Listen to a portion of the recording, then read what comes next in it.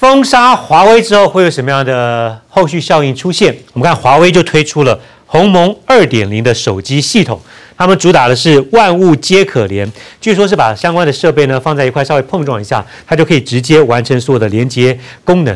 啊，其实其他的一些电子产品已经有这样的一个功能了哈，但是我想。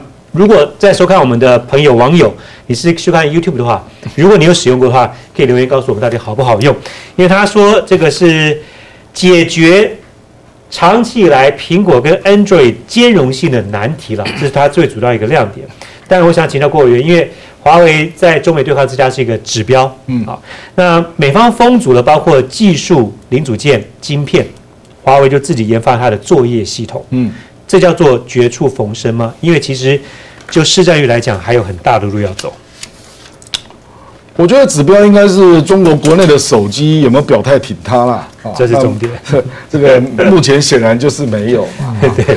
那华为当然他认为它的亮点是物联网啊，嗯，就是它可能各种装载之间都可以互联上这个系统啊，嗯。不过最终还是坦白说了，就是 A P P 的那个应用的功能，愿意上来设计各种。那种 A P P 的人多到什么程度了？是，因为坦白说，那个安安 Android 跟那个苹果的 O 那 O S I O S 大概占市占率大概是九十八趴以上。这边有给大家看，这个是 I O S 二十六点七四，Android 七十二点七二，所以全部加起来之后，其他的只有零点八一。对嘛？对嘛？你可以说它可以开创的未来性是大，理论上是啊。可是你要知道，过去曾经有人 try 过，嗯，包括微软，包括三星。嗯，都没有成功。嗯，那微软跟三星难道他们结合不了众多 A P P 的设计者吗？啊，我不是说华为做不到了。嗯，华为在中国市场也许可以做到一定程度。啊，那他希望他的市占率的目标是十六趴嘛？嗯，哦，这个这个眼光真的看得很远啊。我我觉得他在就是中国的市市场对他来讲是第一个考验啊。是，他要先通过这一关，然后接下来也许是从还是过去的那个。乡村包围城市吧，比如说从非洲开始啊，看它能够 占占领多少市场。对你刚刚提到一个重点，就是中国的手机业者要不要挺华为这件事情啊？因为华为自己认为他们在年底之前至少会有三亿台的设备搭载鸿蒙的系统。但你刚刚提到了大陆的手机，我给大家看一下这张图，导播就可以帮我进个全画面给大家看一下好了。包括了小米、OPPO 跟 vivo 都没有现在表态，要直接挺哦。包括他们之前出华为出售的手机品牌荣耀。CEO 是讲说，现在 Android 还是首选，但未来不排除使用鸿蒙了。嗯，有一个分析师讲的算蛮蛮蛮中立客观，他说，因为华为在中国大陆以外的地方有非常大的挑战，嗯，所以面临在美国制裁的情况之下，很多消费者对于这个品牌，我买了之后啊。我能够到底能够有多方方面面的一个使用的范围，信心比较不足，嗯，这也是让很多手机业者没有去搭载的，就是有变数了，就是有变数。你觉得这叫做在商言商还是？那，比如说他上去大概这两年吧，他被拒绝用 Google 之后，就 Android 了，嗯，那欧洲立即那个市占率就立刻下坠。你对消费端来讲就那东南亚就比较慢啊，那慢慢下坠啊，那东南亚还是有人愿意。因为他可能要用微信嘛，而且有很多华人等等啊，可是欧洲就非常明显就急剧下坠，嗯，所以我觉得只要是通英文的一些国家啦，它用鸿蒙的可能性都不高了，嗯，因为这就是用户的使用使用习惯习惯习惯。来零点一八趴，你可以说有很大的蓝海可以创造，但你也可以说是机会渺茫，就看你怎么解读。华为说要市占率百分之十六，这 这距离是非常大，但你看抖音一样可以在。很多这个西方世界创造非常好的一个成绩，所以倩姐你怎么看这一个难度的挑战？你们出了这个题目，我就想到，如果我还在线上啊，就是我以前的工作我还在做投资的话，我会不会去投资鸿蒙？那我我的想法是会啊。我先跟各位说为什么，我去研究了一下。嗯，这一次鸿蒙其实在呃两年前的节目我们就讲过了，二零一九年八月十号我查了一下。哇，你我们的节目你查的这么清楚啊？嗯，不是那一天他他他不晓得就是在前后某一天，OK，他那天宣布了鸿蒙的二点零是家用系统，节目就讨论，对他用了五十五 inch 的四 K 的大电视，说我这是家用二点零版，好，我们那时就讨论过了。那现在又过了这么久了，过了两年，这次的鸿蒙呢，其实它就是一个系统，它不是只是一个 operating 的晶片等等，嗯，因为它叫做一加八加一，就是你刚才说王长路说至少要有百分之十六才能活嘛，可是他这次做的是一个核心系统，嗯，八个屏，四个小四个大屏，四个小屏，加上 N，所以一加八加 N，N 就是其他的硬体的开发伙伴。那要达到这个百分之十六，怎么达到呢？一个公司它就会有一个它的 roadmap。今天我们不是在帮他们做广告，但我们想想看，它的 roadmap 有没有合理性？嗯，第一个，大家说你又做系统，你又做终端的手机这些东西，你跟我竞争，我不要用你的，对吧？嗯嗯。好，他就把他的核心码呢全部就开放了，嗯捐给了工信部底下的开放原子开源基金会 Open Atom。所以说，他把他的核心的部分说，你只要愿意来开发我的核心码，你就拿走。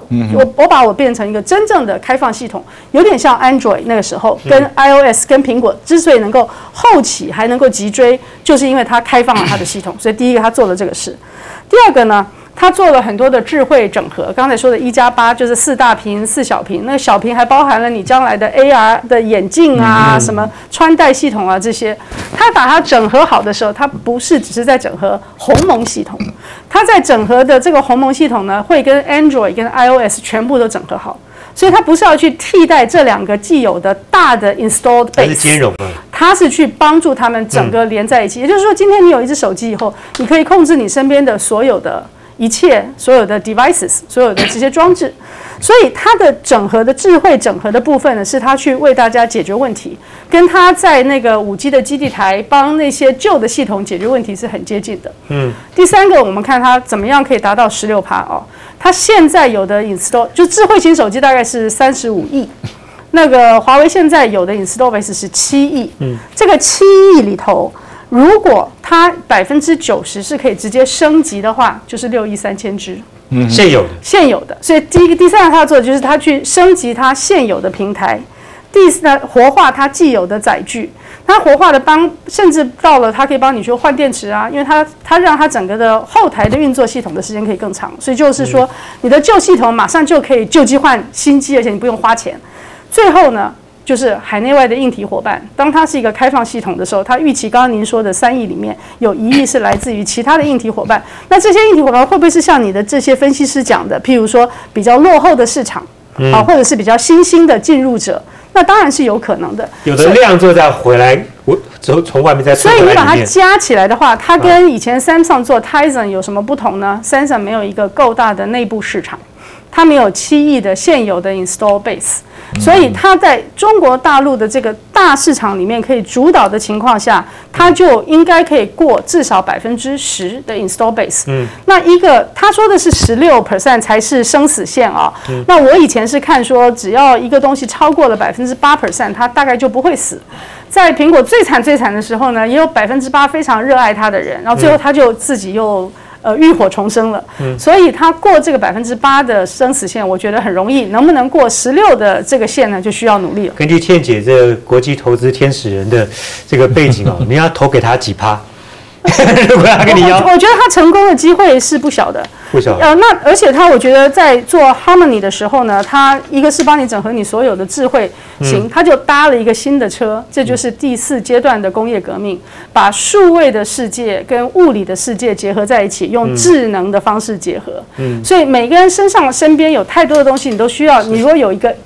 一机当做你所有的遥控器，可以解决所有人的问题的话，那是它一个新的利基。最后就是看它的科技研发能不能够真正 deliver，能够达到他说的我可以整合一切。好，刚刚倩姐提到一点跟过元比较不一样一样部分，就是因为华为它有六亿的 base 在那边，加上中国大陆的市场，即便是那个六亿的 base 也不一定使用鸿蒙啊，也有些人是用安卓啊。对他接下来如果协助他去，因为他的七亿的 install base 都可以直接。呃，直接升级百分之九十。对，可是你也不能假定他们不会改用安卓啊。对了，这个前提是这样子，没错。那我们来看，为什么今天聊到这个，并不是说帮华为一个单一品牌做一个解说，因为在中美之下，它就是一个指标。那另外一个指标是小米，小米现在的状况有没有可能变成包括华为或其他被列为在实体清单上面的这些中国大陆的企业做一些参考？因为小米。之前被川普那个时代的时候呢，就被列在清单上面了，禁止投资。那现在透过了美国哥伦比亚特区的地院一审的判决哦，把它移出了军事的实体清单。因为呃，在美方本来认定它就是中国大陆的军方相关联的公司嘛，所以禁止投资。但法院的判决就是没有小米并没有这样的一个背景跟相关联性。所以，秦家家大师，你认为这个判决的影响程度有多大？这个 当然影响很大。美国这个判决这也是深谋远虑啊，有很高的策略的这个后面的计算这判决是一个 对对对策略的计算。我我从来不相信美国的这些，我从来不相信美国这些判决是没有政治被影响力在后面。哦，第一个哈，这个小米你给它讲成军工企业哈，就太牵强了，有点太扯了哈。这是第一个。第二个的话，小米现在哈，它只是组装，它事实上的话，它也没有像华为一样要搞这个鸿蒙啊。